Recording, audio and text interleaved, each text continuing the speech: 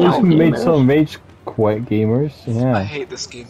I, I know. genuinely hate this game. This is why I'm retired boat, from this game. This is why I'm retired from this game. You're So not I've retired. done every. I am. I've done everything in this game, unless I go back to unless I play PC. But that's uh, Shane, you, you cannot genuinely sit there and tell me you're retired from Battlefront. on PS4.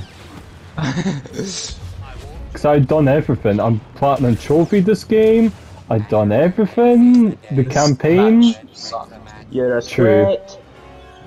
Yeah, true. Look at them. Brent, you just got my sweat. Yes. I mean, they are. Look, Shane, they're you're gonna take level 300. No, it's Yeah, you're them. gonna take that, Brendan. Wait, called was that- sweat. Wait, Brendan. No, that was Andrew there. Yeah, it was Andrew. I was going to say that was was Andrew. That was Andrew. That was Brendan.